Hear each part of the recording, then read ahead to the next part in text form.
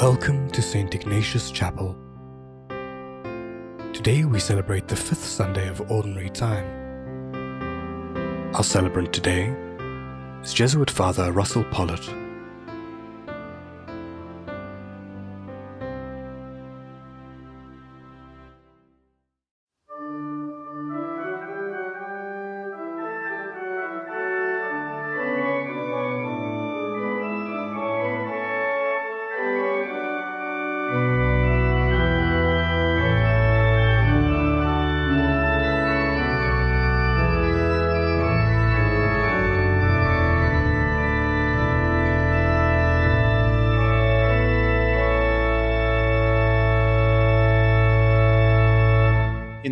Father, and of the Son, and of the Holy Spirit.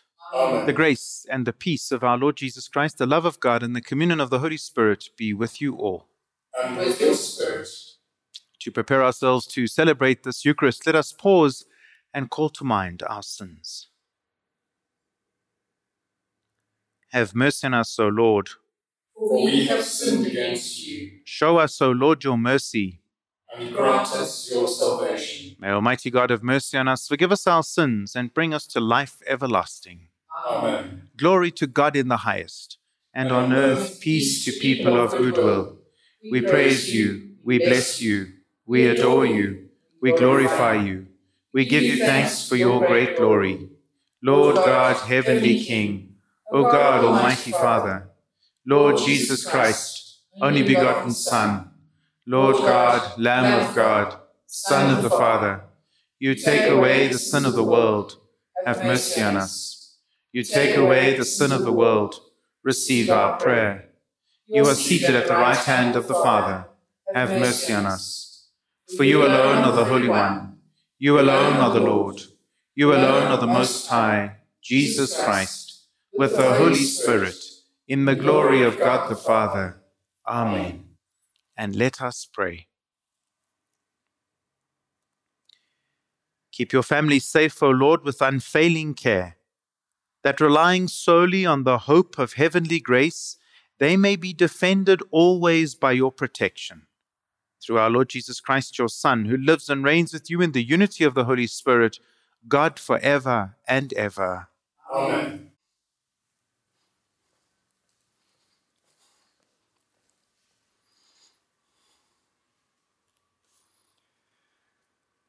A reading from the book of Isaiah. Thus says the Lord Share your bread with the hungry, and bring the homeless poor into your house. When you see the naked, cover him, and do not hide yourself from your own flesh. Then shall your light break forth like the dawn, and your healing shall spring up speedily. Your righteousness shall go before you the glory of the Lord shall be your rear guard. Then you shall call, and the Lord will answer.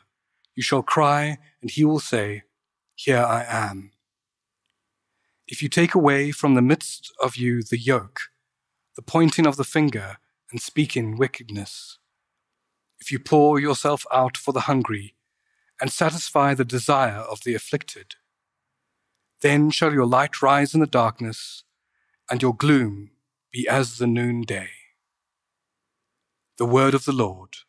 Thanks be to God. A light rises in the darkness for the upright. A light rises in the darkness for the upright.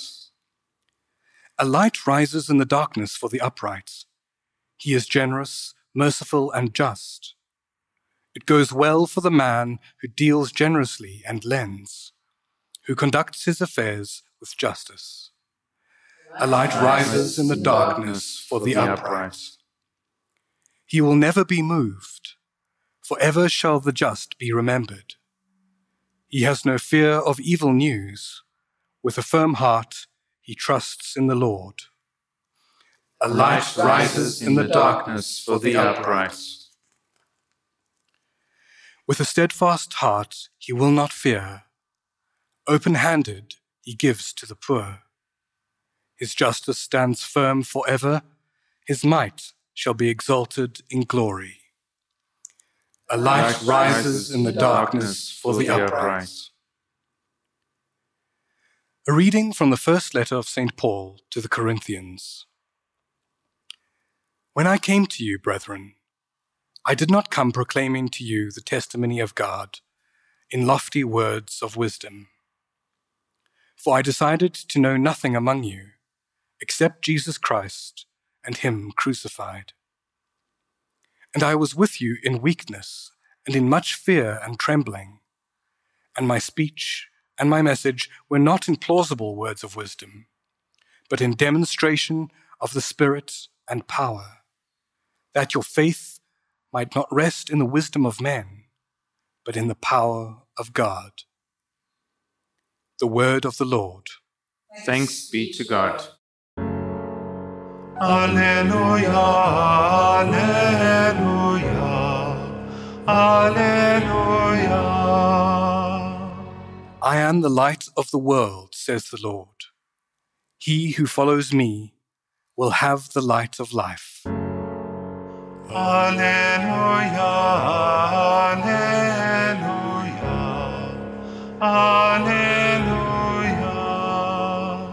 The Lord be with you. And with your spirit, A reading from the Holy Gospel according to Matthew. glory to you, O Lord.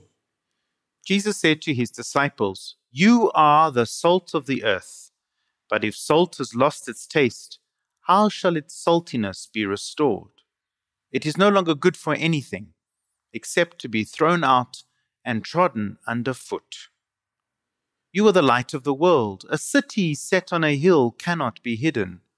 Nor do people light a lamp and put it under a bushel, but on a stand, and it gives light to all in the house. Let your light shine before others, that they may see your good works and give glory to your Father who is in heaven. The Gospel of the Lord. Praise to you, Lord Jesus Christ.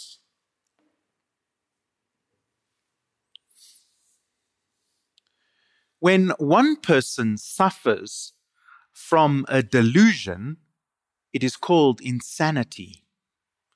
When many people suffer from a delusion, it is called religion. The dictionary supplied by Microsoft Word defines a delusion as a persistent, fixed belief held in the face of strong contradictory evidence, especially as a symptom of a psychiatric order. Both of those quotes are from a book by Richard Dawkins called The God Delusion. Dawkins is the same man who says that anybody who forms a child in faith is being grossly irresponsible. Many people know that Richard Dawkins attacks theism or faith.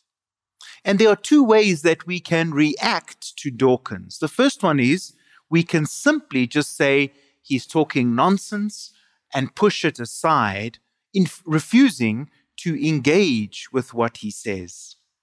Probably that's the reaction of most believers. Or I wonder if we should be reading another reaction, Dawkins's words, as a basis for reflection on the quality of our Christian life. You see, Dawkins displays hostility towards belief. And one of his arguments, besides the rational, is that if you look at the mess that the world is in, and you look at how often religion appears to be at the root of that mess, we are simply living a delusion. I don't think Dawkins's position is credible, but perhaps, maybe, it's important for us to engage with his position, asking ourselves, what is the quality of my belief? How do I live my belief? Are we Christians really credible? The rise of the Christian right in so many places in the world often tangled up with a vicious racism and xenophobia and homophobia and sexism, seems to give credibility to Dawkins's position. In today's scripture text, Jesus uses two everyday things, two ordinary things, salt and light, to suggest what and how a credible believer lives. You know, salt was important in the ancient world. It was used to season food, but also to preserve food. They didn't have fridges in those days. In current South Africa, we don't have fridges most of the time either, but that's another story. It was used as a ritual sign in various of their ceremonies. But salt is useless by itself. It can only be useful when used in conjunction with something else. And Jesus invites us to be salt to the earth. Salt permeates a plate of food, for example, or a dish. And our belief, like salt, should permeate the whole of our lives. It is useless if it does not.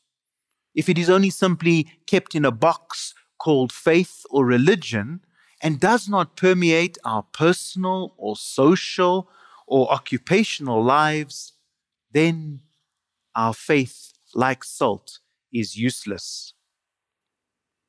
Think about that image of light as well. Light is useless if it does not help us to see beyond ourselves.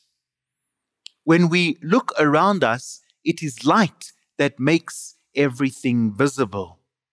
We light up, so to speak, possibilities for ourselves and for others. And so, are we really salt and light? Do we allow our faith to permeate every part of our lives? Are we able to see beyond ourselves, to see God's world and everyone that God has created through the eyes of God?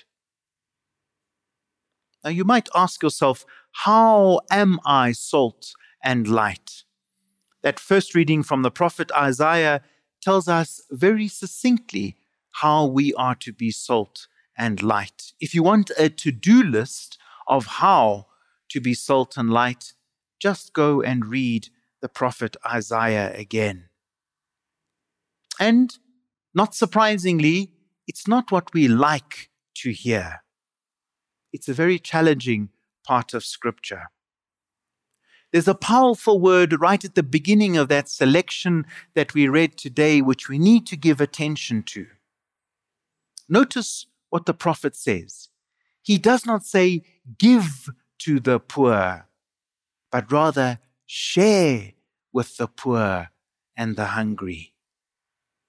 You know, we can, we can give, we can give many good things. And often, very good things are being done.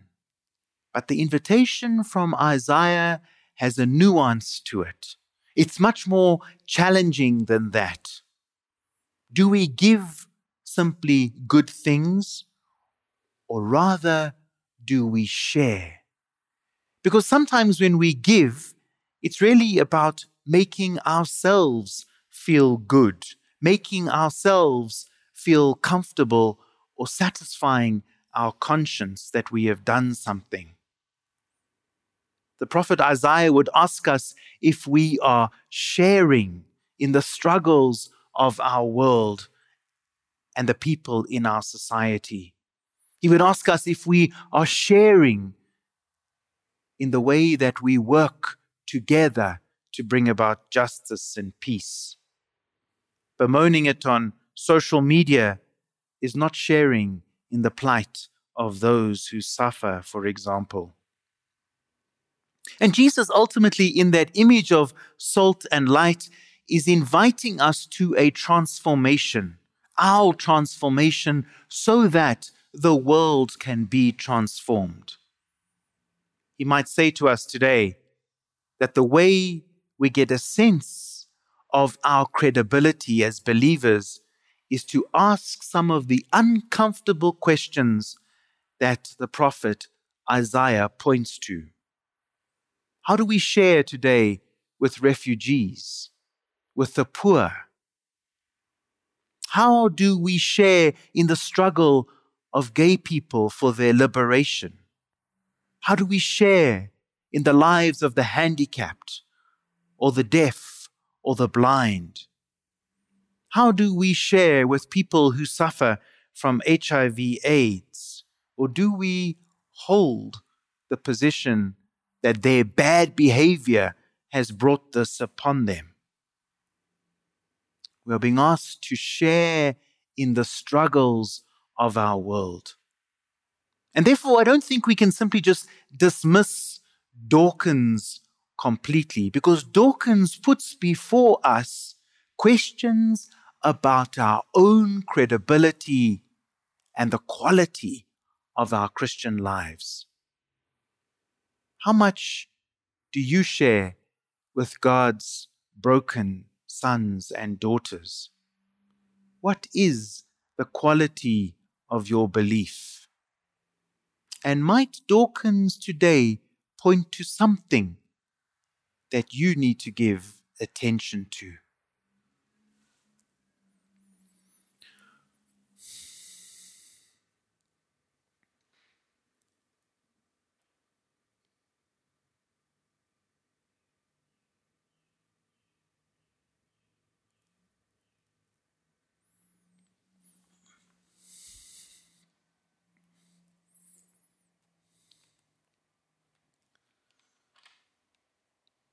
Let's pray together now the Apostles' Creed. I believe in God, the Father Almighty, creator of heaven and earth, and in Jesus Christ, his only Son, our Lord, who was conceived by the Holy Spirit, born of the Virgin Mary, suffered under Pontius Pilate, was crucified, died, and was buried. He descended into hell. On the third day, he rose again from the dead he ascended into heaven and is seated at the right hand of God the Father Almighty. From there he will come to judge the living and the dead. I believe in the Holy Spirit, the Holy Catholic Church, the communion of saints, the forgiveness of sins, the resurrection of the body, and life everlasting. Amen. We have heard God's word, and now we are invited to make known our needs to our God.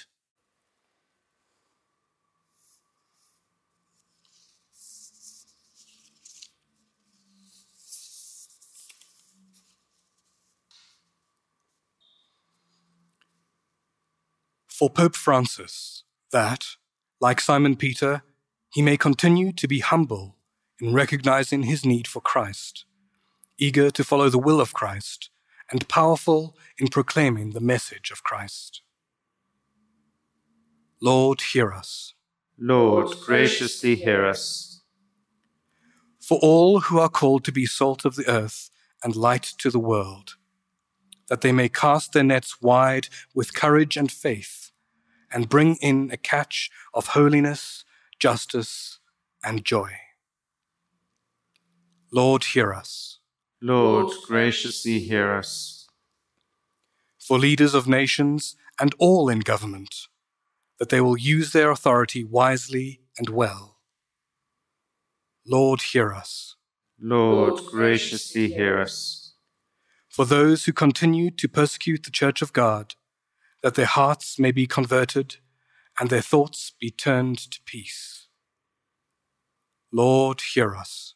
Lord, graciously hear us. For the unemployed and for those who are exploited in the workplace, that their skills and abilities may be recognized, valued, and rewarded. Lord, hear us. Lord, graciously hear us. For all those who are sick or housebound, vulnerable or afraid, that they may know the healing touch of God's love. Lord, hear us. Lord, graciously hear us. Lord our God, We give you thanks that we can make our needs known to you, and that you hear us through Christ Jesus, your Son, and our risen Lord. Amen. Amen.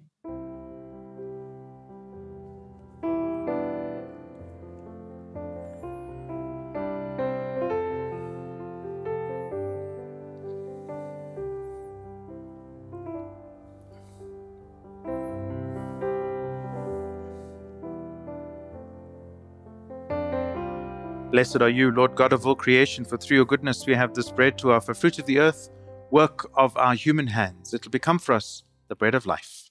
Blessed be God forever. The mystery of the sort of man share our human nature. Blessed are you, Lord God of all creation, for through your goodness we have this wine to offer, fruit of the vine, work of our human hands. It will become for us our spiritual drink.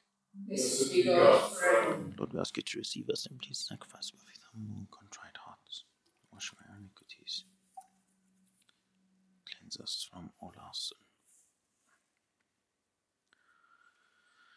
Let's pray, friends, that our sacrifice may be acceptable to God the Almighty Father. May the Lord accept the sacrifice at your hands, for the praise and glory of God's name, for our good and for all God's holy church. O Lord our God, who once established these created things to sustain us in our frailty, grant, we pray, that they may become for us now the sacrament of eternal life through Christ our Lord.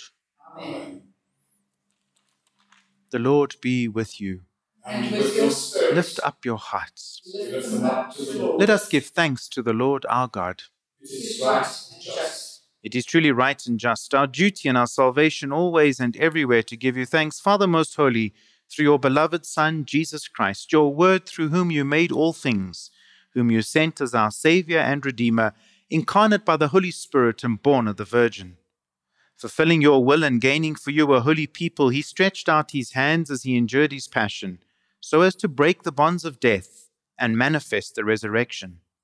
And so, with all the angels and saints, we declare your glory as with one voice we acclaim Holy, Holy, holy, Lord God of hosts, heaven and earth are full of your glory. Hosanna in the highest. Blessed is he who comes in the name of the Lord. Hosanna in the highest. You are indeed holy, O Lord, the fount of all holiness.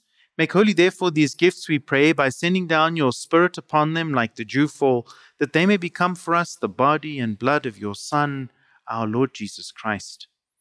At the time he was betrayed and entered willingly into his passion, he took bread, and giving you thanks, he broke it and gave it to his disciples, saying, Take this, all of you, and eat of it, for this is my body, which will be given up for you.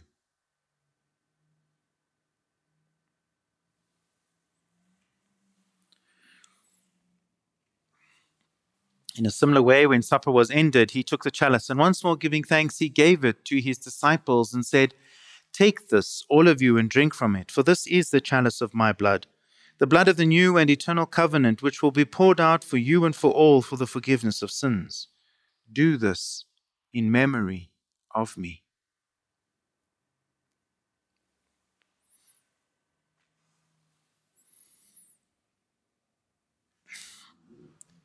The mystery of faith. When we eat this bread and drink this cup, we proclaim your death, O Lord, until you come again. Therefore, as we celebrate the memorial of his death and resurrection, we offer you, Lord, the bread of life and the cup of salvation, giving thanks that you've held us worthy to be in your presence and minister to you. Humbly we pray that partaking of the body and blood of Christ, we may be gathered into one by your Holy Spirit. Remember, Lord, your church spread throughout the world, and bring her to the fullness of charity, together with Francis our Pope and Butia our Bishop, and all the clergy and all who minister to your people. Remember also our brothers and sisters who have fallen asleep in the hope of the resurrection, and all who have died in your mercy. Welcome them into the light of your face. Have mercy on us all, we pray, that with the Blessed Virgin Mary, Mother of God, with Saint Joseph, her spouse, with your blessed apostles, and all the saints who have pleased you throughout the ages, we may merit to be co heirs to eternal life, and may praise and glorify you through your Son, Jesus Christ. Through him, and with him, and in him, O God, Almighty Father, in the unity of the Holy Spirit, all glory and honor is yours forever and ever. Amen. Let's pray now as the Lord Himself taught us. Our Father, who art in heaven, hallowed be thy name. Thy kingdom come, thy will be done on earth as it is in heaven. Give us this day our daily bread, and forgive us our trespasses. As we forgive those who trespass against us. And lead us not into temptation, temptation, but deliver us from evil.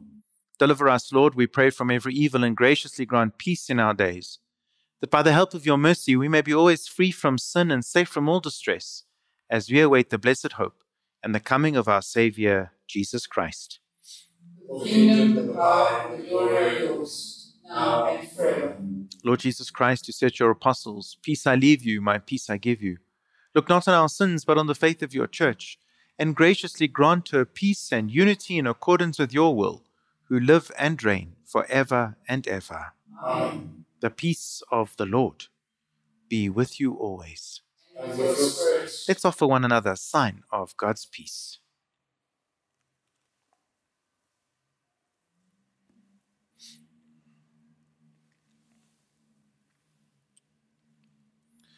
Lamb of God, you take away the sins of the world. Have mercy on us. Lamb of God, take away the sins of the world. Have mercy on us. Lamb of God, you take away the sins of the world.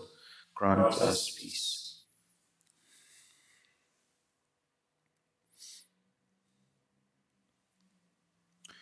Behold the Lamb of God. Behold him who takes away the sin of the world. Blessed are those called to the supper of the Lamb. Lord, I am not worthy that you should enter under my roof, but only say the word, and my soul shall be healed. Body and blood of Christ, bring us to life everlasting.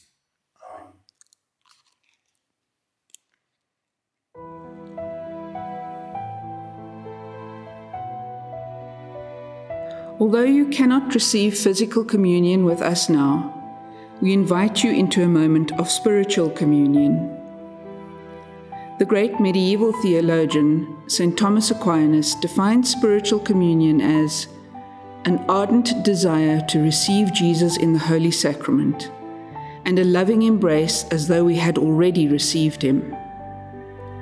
His words are echoed by the great mystic and fellow doctor of the Church, St. Teresa of Avila, who wrote, When you do not receive communion and do not attend Mass, you can make a spiritual communion, which is a most beneficial practice. By it, the love of God will be greatly impressed on you. At this moment, we invite you to focus on Christ and your longing for union with Him. Express your desire to feel His grace coursing through you, giving you strength and courage, particularly in these difficult times. In your desiring union, you are united with us and to Christ. In this moment, we experience the reality that is already here.